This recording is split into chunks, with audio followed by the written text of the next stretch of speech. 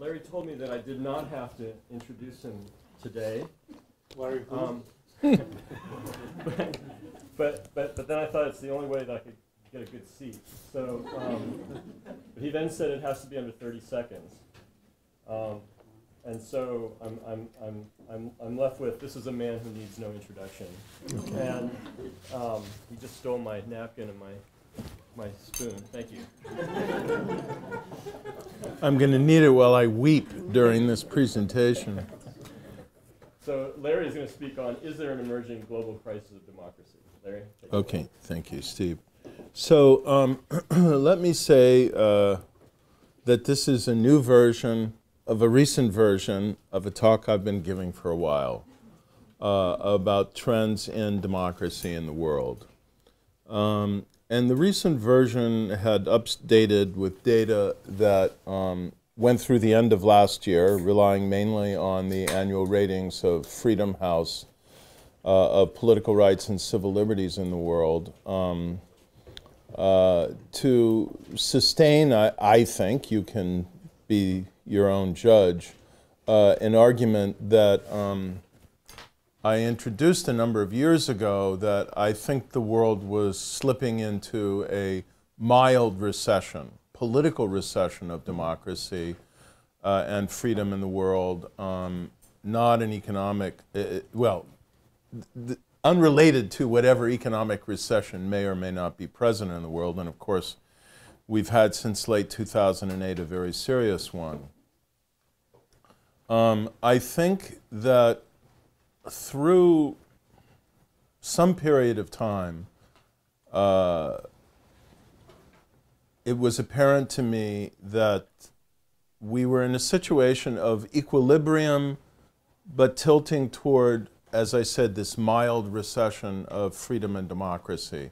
There was a fair amount of bad news. There was also uh, uh, quite a bit of encouraging news. In recent months, and um, well before Russia ripped away a part of Ukraine, which I'm not going to, you know, talk about in, uh, in any specifics today, uh, but having more to do with the internal developments uh, of a number of democracies in the world. And I will say, with my colleagues here, Frank and Steve and others who've been involved in our program uh, on American democracy and comparative perspective, not least the troubles of democracy in the United States, I've been worried that we may be tipping into something more serious. Well, is it a global crisis of democracy? Uh, Don Emerson wanted me to answer that at the outset so that he could leave and go hear Ezra Vogel's talk. Um, but um, unfortunately, my answer is more complicated. So um, uh, uh, I can only say that, and this is the punchline to the extent there is one at all. I think we have been in an extended period of kind of equilibrium, mild recession uh, politically, and vulnerability. And I see, for reasons I will explain, a growing danger of this potentially tipping into a global crisis of democracy, and yes, potentially even into what Huntington would call a third reverse wave of um, democratic breakdowns. That is a period of time, unlike the extended, I think, still third wave that we've been in since 1974 uh, a period of time instead where the number of reversals from democracy considerably exceeds the number of transitions to democracy. So with that, uh, first let me just very, very quickly um, talk about how uh, democracy um, has expanded in the world uh, over these decades. And um, in the uh, slide behind me, you see the trends in terms of um, uh, both electoral democracies and liberal democracy. And uh, what you see is that electoral democracy, the kind of more minimal form of political democracy, and I'm going to kind of get more into that um, in a little while. Uh, electoral democracy, this doesn't seem to be working, uh, has expanded very dramatically and impressively during this period uh, to reach a peak in 2005. And 2005 becomes a year, an inflection point that's recurrent uh, in a lot of what I have to present to you today. And I'd say all of the reasons why the year 2005 are not entirely obvious. I have my ideas. I can't really elevate them to theories, and we can talk about it. But you can see a gradual uh, ascent of electoral democracy in the world, with a key inflection point being 1989 and the end of the Cold War and the expansion of democracy, obviously, uh, not only into post communist space, but also very dramatically into sub Saharan Africa as well. And as I've said probably now at least three times previously in talks here, I'm um, taking as an empirical indicator of liberal democracy all those states that get a one or a two on both of the Freedom House scales of political rights and civil liberties, which extend, extend from one, which is most free, to seven, which is most impressive.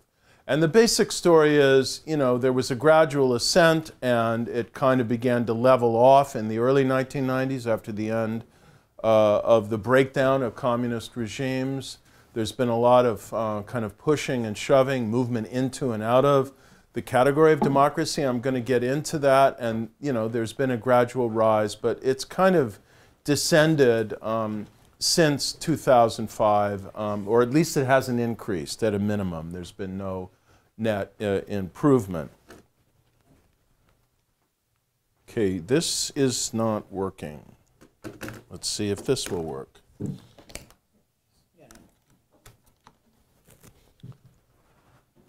So, um,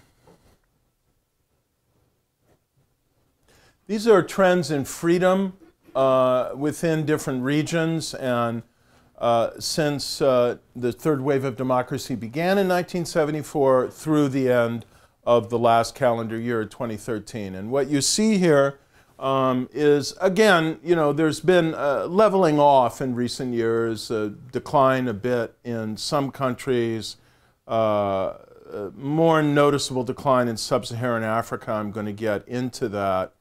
Uh, and uh, the yellow line is sub-Saharan Africa, light blue is Asia Pacific. The purple, of course, is the biggest change. Those are the post-communist countries from Central and Eastern Europe. Uh, the brown line is the former Soviet Union minus the three Baltic states. And you can see the big jump around 1991, uh, 89 to 91, and then the decline um, uh, among those remaining 12 states, not just Russia, but others. These are, of course, averaging both political rights and civil liberties and averaging across countries in the region. The red line is the Middle East and North Africa, and you can see it was not the most repressive region in the world in the mid 1970s. Um, Africa and the communist states were worse, but it's the one that's improved the least. And of course, in recent years, uh, we can talk about what's happened in the Arab Spring, but it and the, and the former Soviet Union are still the most repressive regions in the world. Uh, this is just a brief snapshot, snapshot of where we were in the judgment of Freedom House uh, at the end of 2013. Now I have to say something uh, in terms of classification. I actually uh, am not in a position to make uh, confident and definitive judgments on the status of democracy in all the countries of the world. So, in most instances, I have to defer to the assessment of Freedom House. I take their numbers and use them. I don't consider them perfect, although they're highly correlated with the ratings of The Economist magazine, the Bertelsmann uh, Transformation Index, and even the Polity Index, though it's rather different, doesn't measure civil liberties, for example.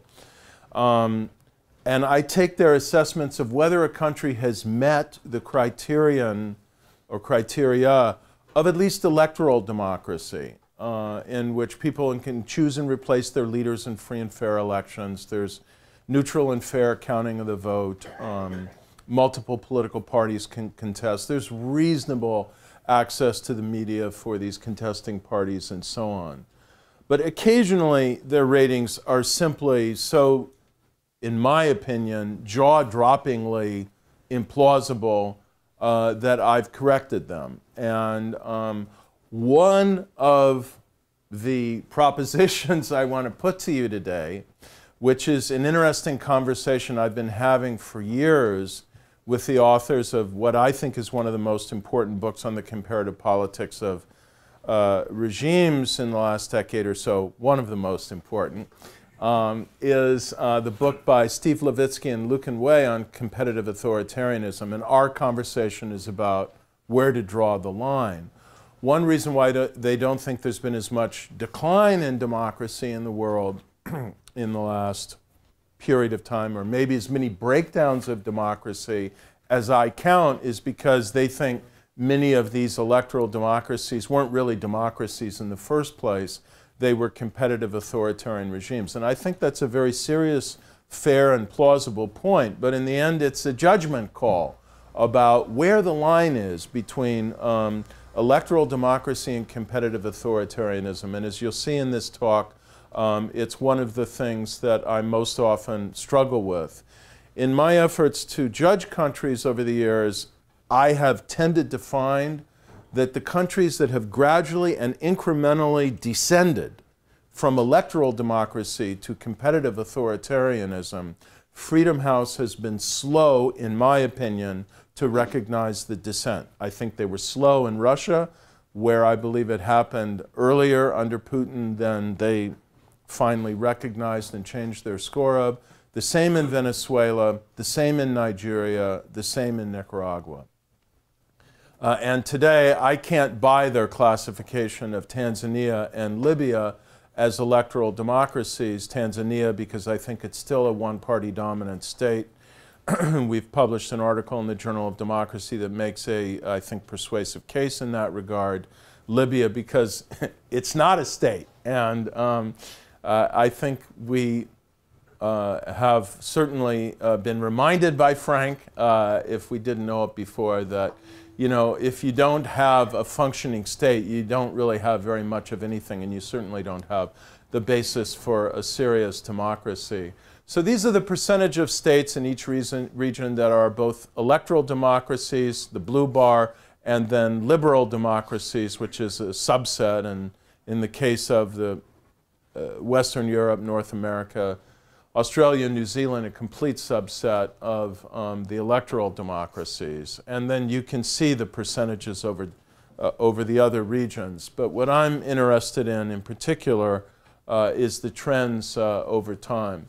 If you look at this snapshot, it really, you know, you'd hardly see a crisis of democracy or really even a situation that we should be very alarmed by. Um, democracy is still the overwhelmingly dominant form of government in the Americas.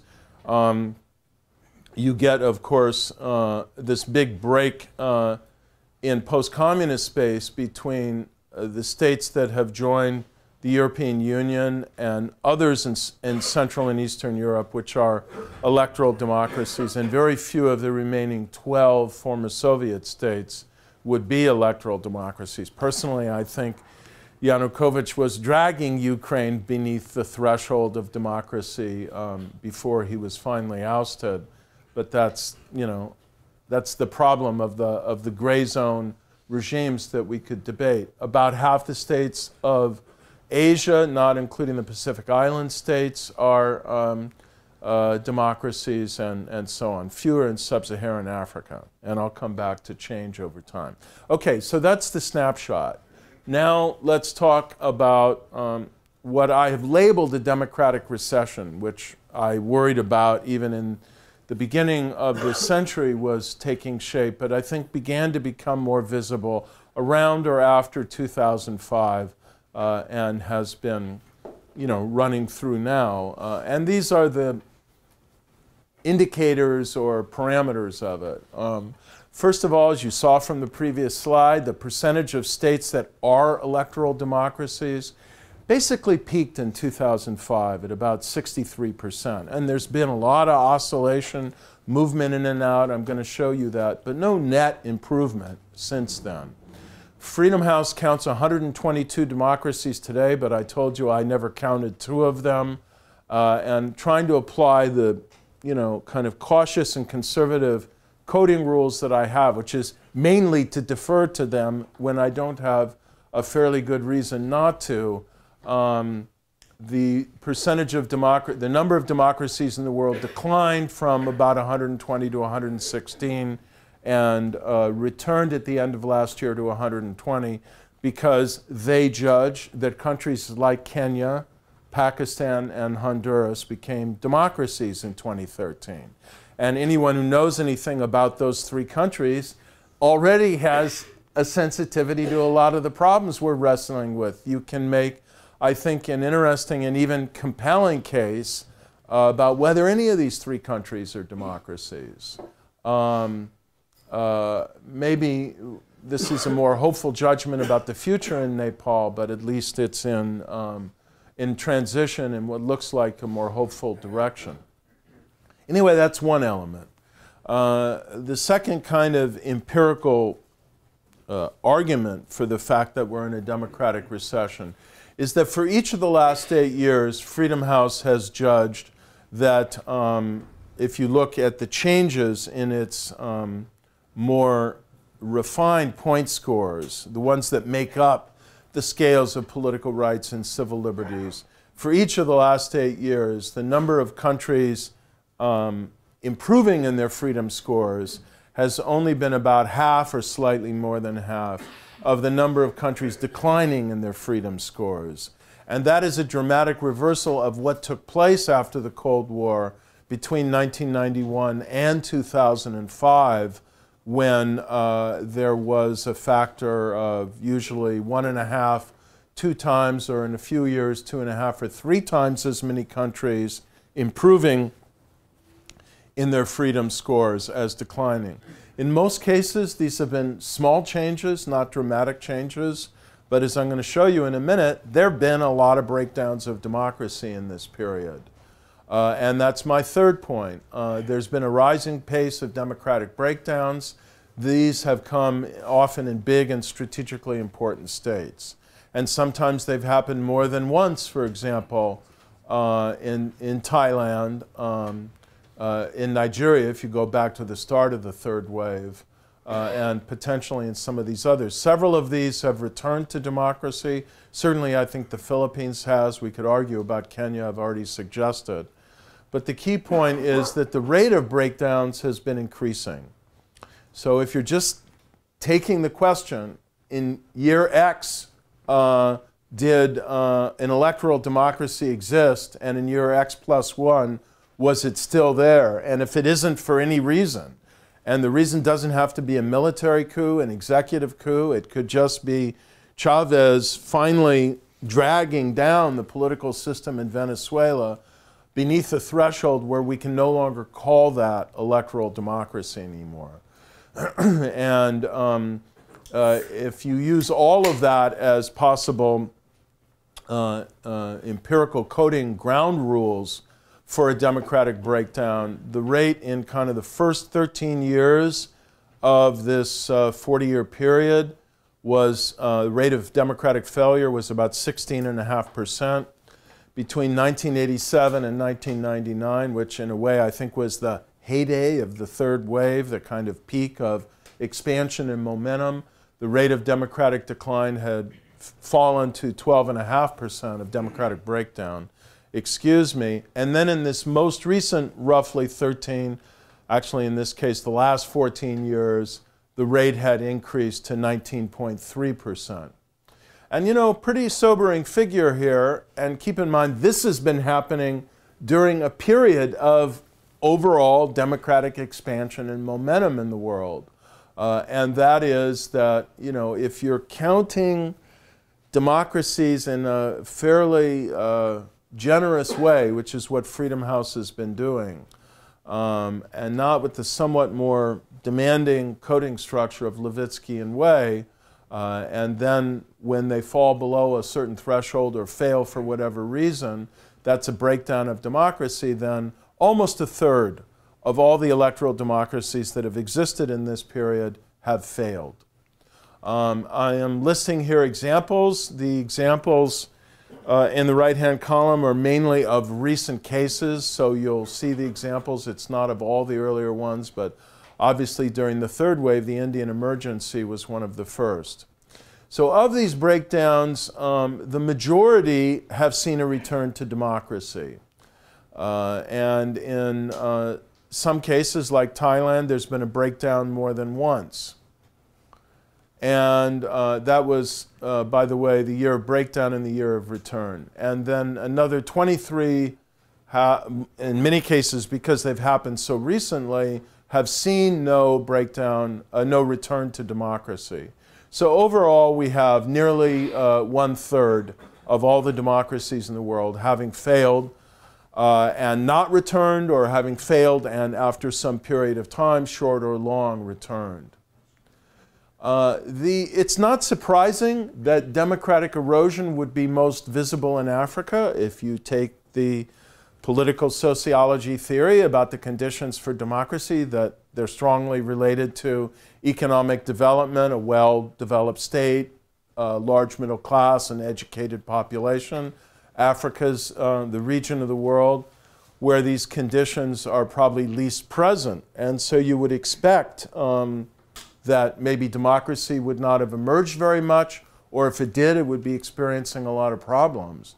Actually, given that, what's interesting is that still, depending on how you count, you could probably move some of these in a different category of competitive authoritarianism, and I've already suggested to you that Kenya might be one of the first that I would move, but still, there's clearly a critical mass of electoral democracies in sub Saharan Africa.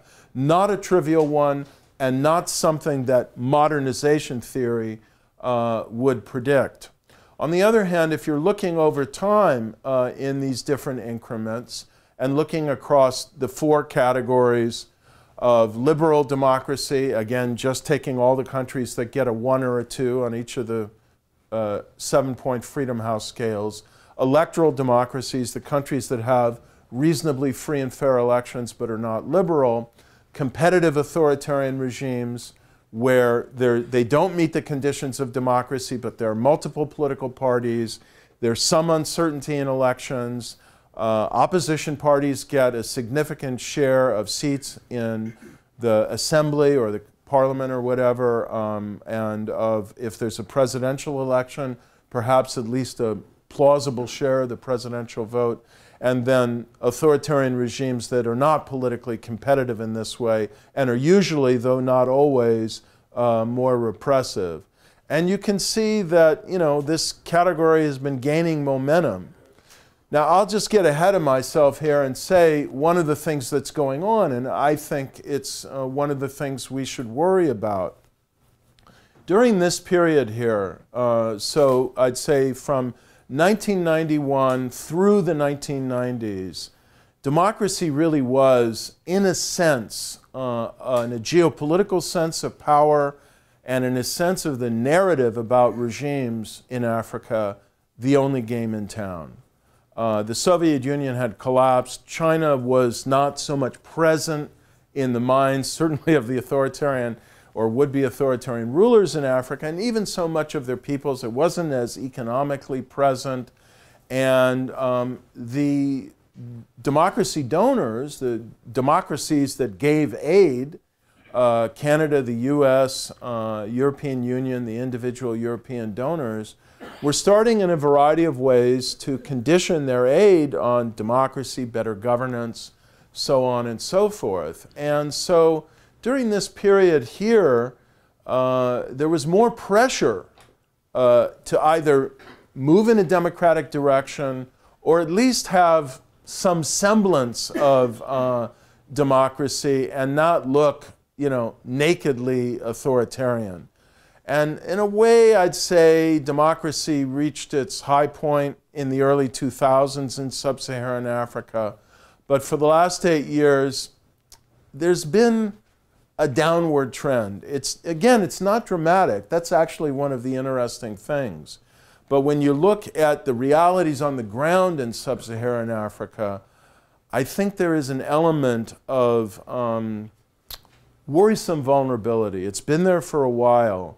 But given the geopolitical balance in the world, China's rising leverage with development assistance, Europe's and America's lack of uh, inspiration as a model for democracy, and the declining willingness of Europe and the United States to continue to exert leverage for democracy and the increasingly conflicting imperatives of the global war on terror, the struggle for resources, the struggle for markets, the struggle for oil, and so on, uh, it's not really all that favorable a time. And in this sense, in terms of countries that no longer feel the need to even gesture uh, at multi-party democracy, we're kind of we're moving back a bit.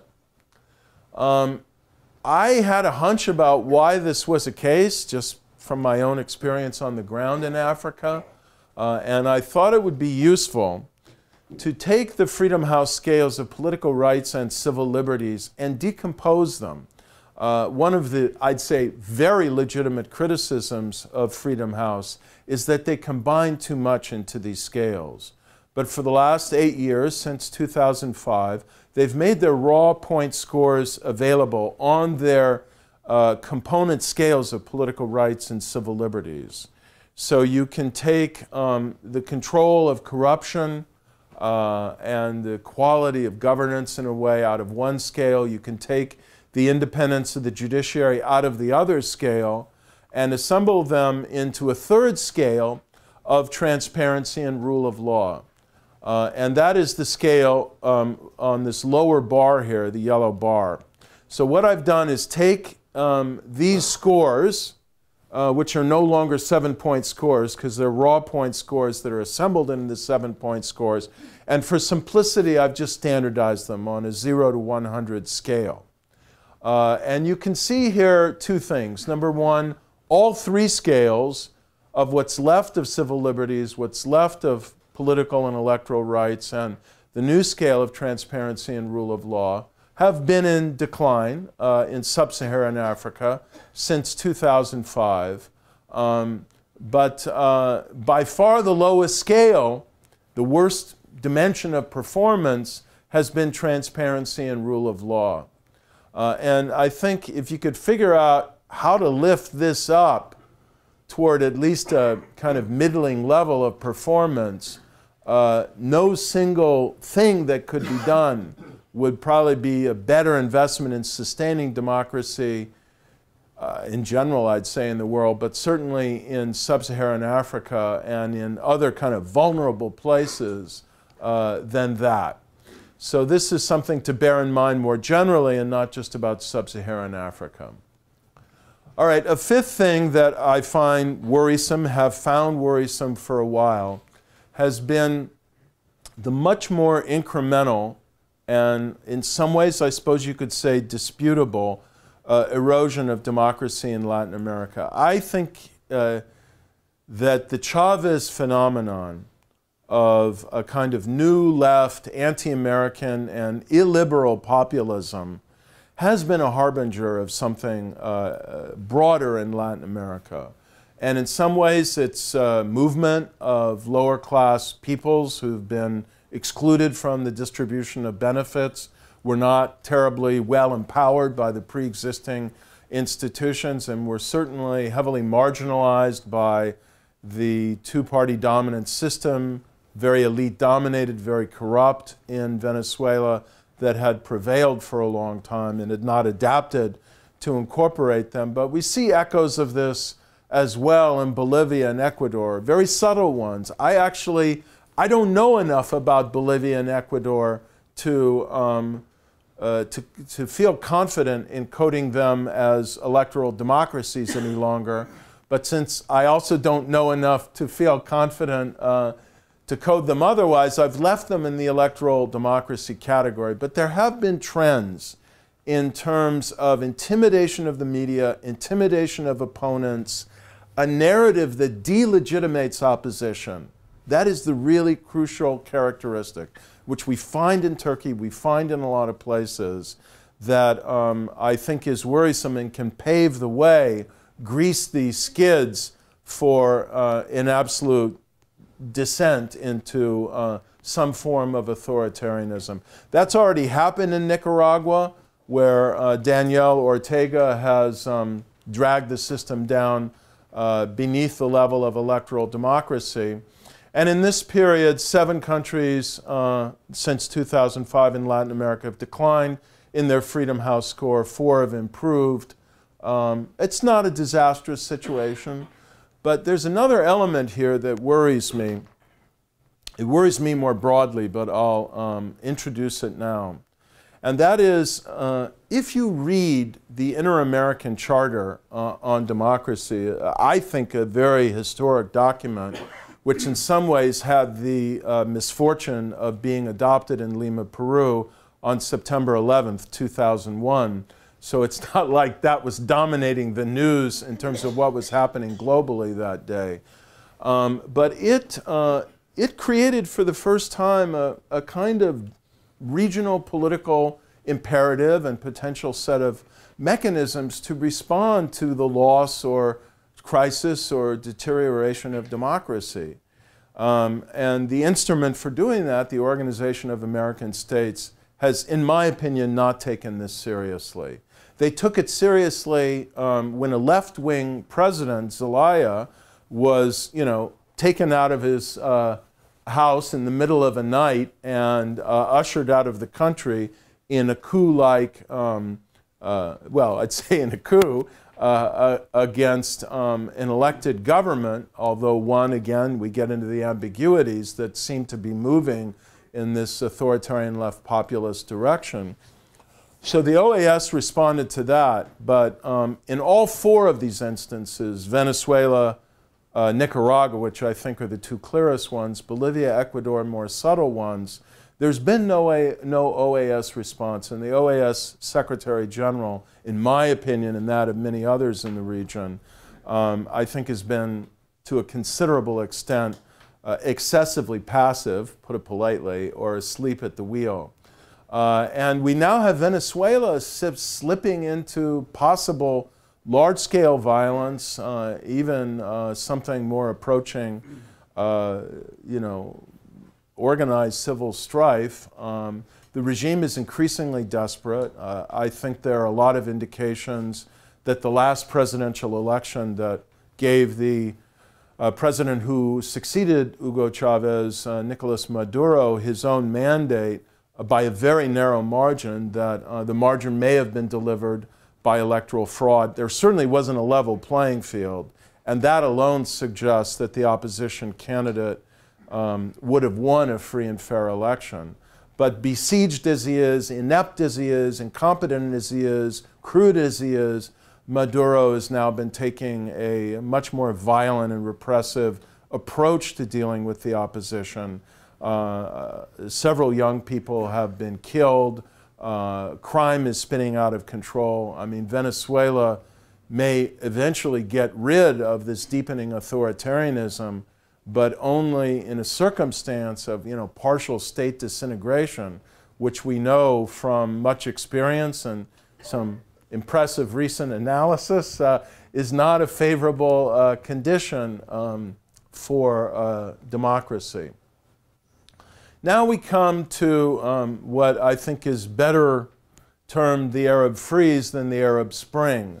And I take a long term view of the struggle for uh, democracy, accountability, human rights uh, in the Arab world. I, I, think this is something that's going to be, uh, that's not going to go away. The underlying problems of legitimacy have not even begun to be responded to by most of these regimes. So we're talking about a process of, of change that's probably going to unfold over a couple of decades or more. But the point is, the first three years have not been real uplifting. Uh, we have an authoritarian implosion in Egypt that has uh, been um, uh, in the process of creating a state more repressive uh, and more vindictive against opposition than anything that Egypt has seen in decades, with tones of demonization of opposition, uh, demonization of intellectual critics as traitors and fifth columnists, um, glorification of the nation, glorification of a heroic leader that have, I'm now uh, in a way quoting the language of our colleague Amr Hamzawi, the Egyptian political scientist who was supposed to have arrived here uh, on Monday to be a visiting scholar at CDDRL, but could not come because he is being prosecuted by the Egyptian authorities for having issued a tweet, what, a couple, few months ago, uh, declaring the um, uh, trials of the civil society activists um, uh, who were arrested uh, and the international uh, democracy promotion organizations who were working on the ground and supporting them, declaring these trials as akin to uh, kangaroo court or something like that, which obviously they are. The whole thing is, um, is an authoritarian charade. But anyway, uh, Egypt has turned in a very hard and very ugly authoritarian direction. I think most of you know um, the brutality of the crackdown in Bahrain that's uh, crushed uh, what was a peaceful movement for democratic change that I think could have been willing to live with the Sunni minority monarchy and work out some kind of deal. We could debate how plausible that was, but in any case, with U.S. acquiescence and um, uh, condoning of it and the intervention of Gulf Cooperation Council troops, a very brutal political order has been imposed there. We've talked about Libya which is now uh, congeries of uh, militias. It's, you know, you can't even call it a state. Uh, the civil war in Syria, it's destabilizing spillovers into Jordan and Lebanon. Um, but we've got, you know, one and a half uh, reasons for uh, some hope. And I'm going to close by suggesting it's a difficult time period. We have to really bet on hope um, where we see it emerging. One, of course, is the emergence of the first Arab democracy uh, in at least 40 years in Tunisia. And the second is a national dialogue uh, conference process facilitated by a UN mediator who both Steve and I have worked with, Jamal Benomar, that has created a framework. It may or may not hold Yemen together, but has at least created a framework in which constitutional negotiations can proceed. I won't dwell on this, but if you compare the Freedom House scores in 2010 and 2013 of the 16 Arab states of the Middle East and North Africa, you know, it's not a net picture of uh, democratic uh, progress. Uh, it's been more regression than progress with one clear success story in Tunisia. So now let me um, give the final phase of this talk, which is where we're at now and whether this um, constitutes uh, a crisis of democracy. If you think there's a looming or potential crisis, one of the things you'd have to be worried about is even before Russia invaded uh, Crimea and Putin moved, what, 40,000 troops? I don't know how many, uh, to the border of eastern Ukraine and began to beat his chest with excitement uh, over um, his conquests and the revival of uh, a Russia that could stand up to the West and all the other stuff that Catherine has been writing about. Even before that, you know, you'd have to be worried about the deepening authoritarianism in Russia, its effort to reconstruct an alliance structure um, that uh, wasn't going to be called the Soviet Union, but what's the Eurasian Union. The Eurasian Union. Uh, and of course, um, the even bigger elephant in the room is China, its continued economic dynamism, political self confidence, uh, and resistance so far to democratic change. These authoritarian regimes are increasingly coordinating with one another and adapting, uh, sharing technology to suppress the internet uh, and other tools of um, surveillance and uh, repression.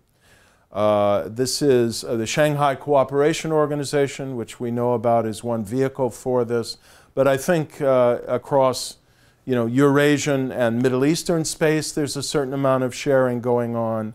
And there's, there is a sense out there in a lot of places in the world that the dynamism and kind of momentum and power, in a way, is now shifting away from the democracies to the authoritarian states. This is one reason why it's not the even the most important one maybe. I think we should just worry about Ukraine and the future of NATO, but it, it is an important reason why I think if we fail to stand up to vigorously, and we cannot only mean the United States, it must mean the European Union and the individual democracies within the European Union. If we fail to stand up uh, to this kind of aggression and intimidation, and what could 40 or 50,000 troops on the border of a vulnerable, aspiring democracy that doesn't want to reunify with Russia mean but intimidation, then um, you know the shift is going to become more pronounced. Then we get to the problem that is the subject of our program on American democracy and comparative perspective that I don't have to, time to discuss now. But um, there is a sense out there, and as I travel, I'm guessing, Frank, you find it as well, and my colleagues in their travels, you know, a lot of people are increasingly looking at the United States uh, and some of our European um, uh, um, allies and saying, why should we want that? This kind of paralysis and incapacity to deal with obviously serious governance challenges like hey, for example, adopting a budget. Um, and we are, we are suffering. Our image and soft power in the world is seriously, seriously eroding because of the poor performance politically and institutionally of democracy in the United States.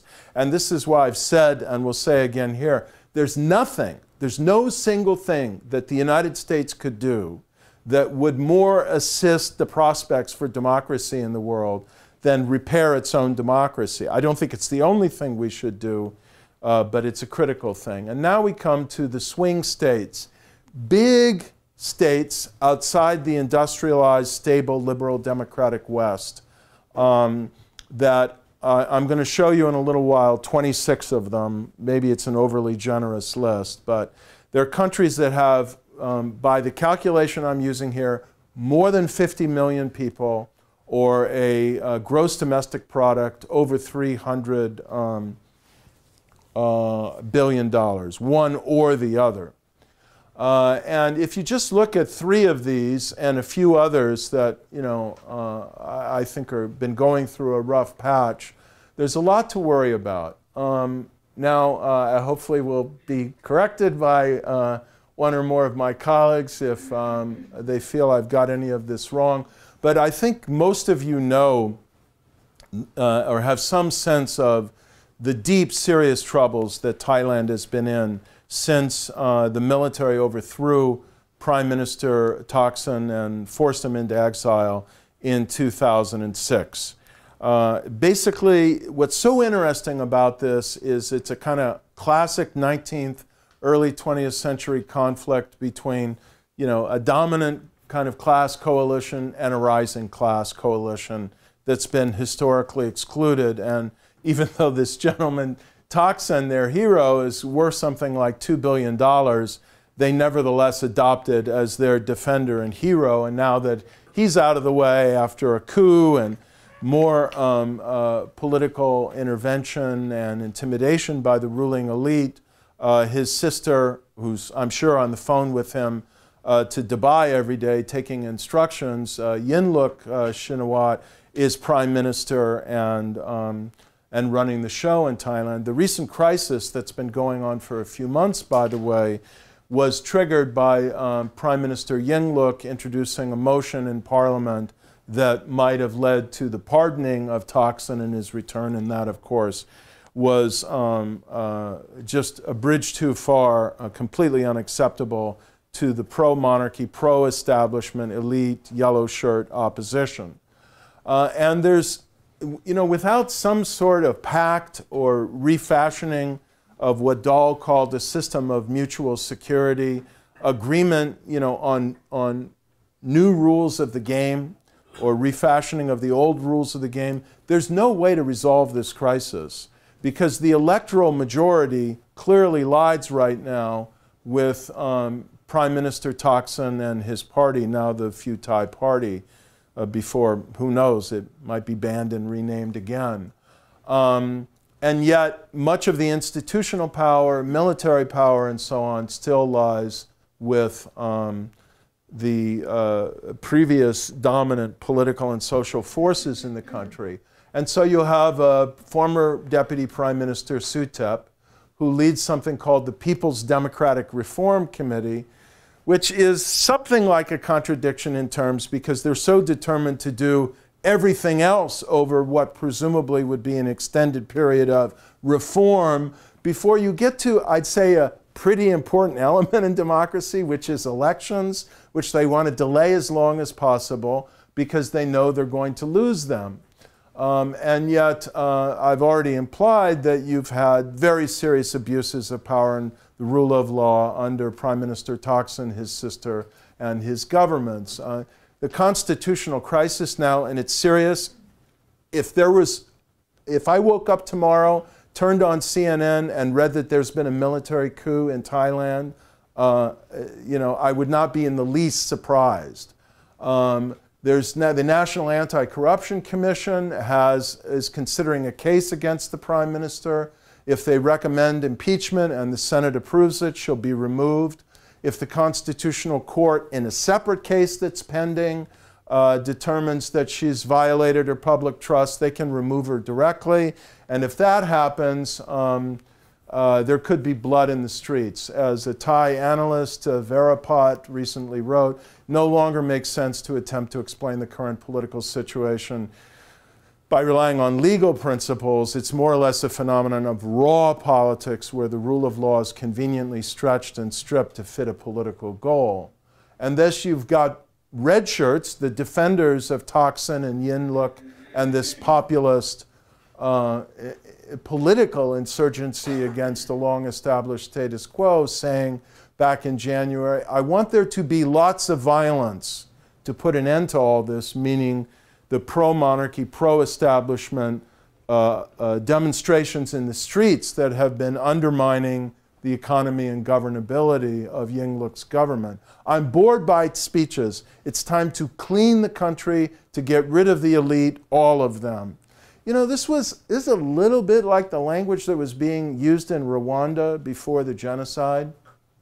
Here we have the new leader of the Thai Red Shirts, Jatuporn, uh, and they are named, you know, uh, you could only find this in a novel, the National United Front of Democracy Against Dictatorship.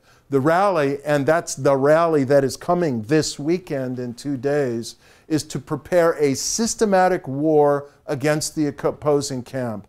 The principle of the rally is to stop efforts, that is, their efforts of the pro monarchy establishment to foil democracy. And uh, these people are arming, they are serious, uh, and there is the prospect of uh, very tragic levels of violence in an otherwise peaceful country. The new commander of the 1st Division of the King's Guard has said, Lese Majesty, and this is certainly construed as that, will not be tolerated, and uh, it's a really scary situation. Steve and I are just back from Turkey. Uh, I think this country. Um, may no longer be able to be called a democracy. It's not because um, the uh, Justice and Development Party, the AKP, uh, is not supported by a plurality of voters in Turkey. I think it pretty clearly is. But um, the fear that has descended on this country, the eclipse of freedom of the press, the um, intimidation of opponents, the scope of the Ergenekon scandal, which I think, which is the uh, alleged coup plot against the government, which most, I think, independent observers believe was at a minimum conveniently and ruthlessly widened to take in as wide an arc of journalistic and elite opponents of the uh, AKP as possible has reached a point where I, I, really think it's difficult to argue that there is a sufficiently level playing field and a sufficiently open climate for criticism and reporting so that we can say electoral democracy exists. Here are the Prime Minister's remarks a few nights ago after uh, he won a pretty strong electoral victory in the local elections uh, on Sunday. We are the owners of this country. The people will not bow, and Turkey is invincible. Those who had been part of his ruling coalition in the deep state but are supporters of this um, cult, Islamic cult leader in Pennsylvania, Gulen, those who managed, who managed could flee. More can flee tomorrow, but from now on will walk into their dens. They will pay for this. How can you threaten our national security? And you know, uh, they've been hit with a full Ottoman slap by the nation.